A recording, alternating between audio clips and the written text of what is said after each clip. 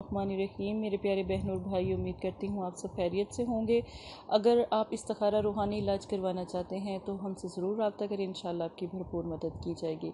सूर फातिया सूर फातिया कुरान पाक की सबसे खूबसूरत और सबसे प्यारी सूरत। इसका जो आज मैं अमल आपको बताऊँगी, ये किस मकसद के लिए किया जाता है और इसमें कितनी ताकत है, आज ये हम जानेंगे।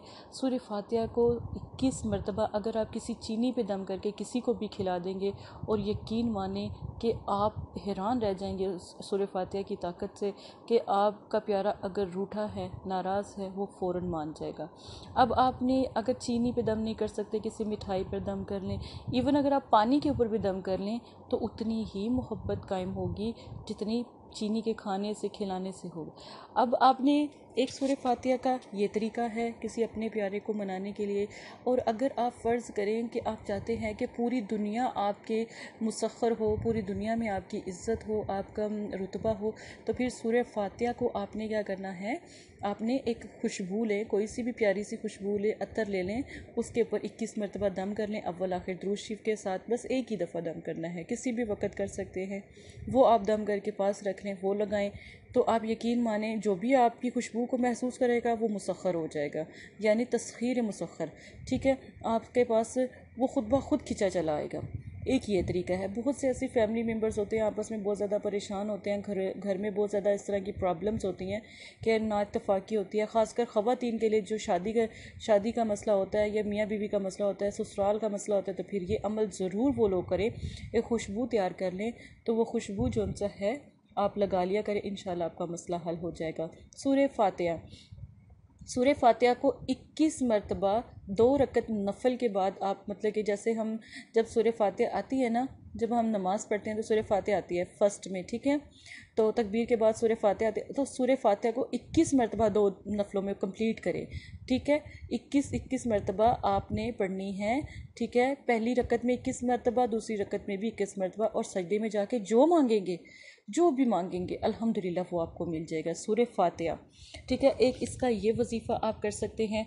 अब बहुत से ऐसे लोग हैं जिनका कारोबार इतना ज़्यादा ख़राब हो जाता है, इतना ज़्यादा कि उनको समझ ही नहीं आती कि वो क्या करें।